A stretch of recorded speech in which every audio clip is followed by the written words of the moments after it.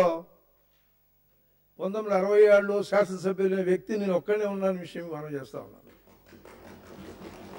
నేను ఎప్పుడు పదజాలంలో చాలా జాగ్రత్తగా మాట్లాడతాను నేను జరిగిన దాంట్లో ఈటల రాజేంద్ర గారు కొన్ని విషయాల గురించి చారిత్రక సత్యాల గురించి తప్పుడుతో పట్టించే పద్ధతిలో మాట్లాడతారు హౌస్ అనే విషయం కూడా అవునవును.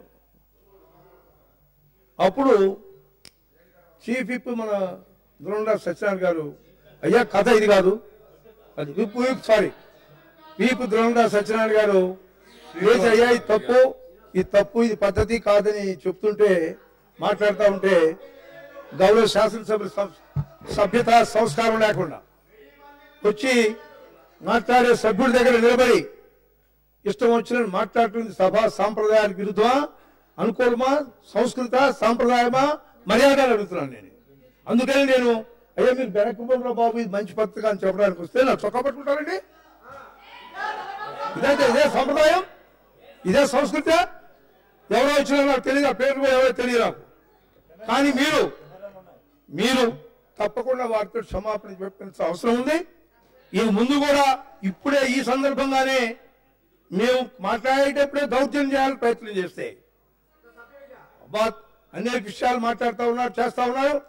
రేపు అయిపోయిన తర్వాత ఏముందని భయం అనేది జనంలో ఉన్నది. కానీ మీ సొంత సొత్తు కాదు ఇది. ఇది బాగా ఆలోచించుకునే మాట మనం చేస్తా ఉన్నా నేను. ఈ విధంగా దౌర్జన్యం నీ సొంత సొత్తు కాదు ఇది.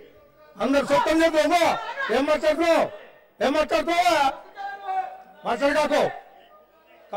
అందువల్ల నేను మనం చేస్తా ఉన్నాను. అది హరీష్ రావు గారు ఉన్నారు. అటు రాజేంద్ర ప్రసాద్ గారు ఉన్నారు. రాజేంద్ర గారు ఉన్నారు. చెప్పండి వాళ్ళకి సంస్కారం లేని వ్యక్తులు మాట్లాడుతూ ఉంటే మీరు కంట్రోల్ చేయవలసినటువంటి బాధ్యత మీకుందని మీకు మనం చేస్తా ఉన్నా. తప్పక ఈ విషయాల్లో అంతా తెలివి తక్కువగా లేము అంత గతవతనంగా లేము మేము.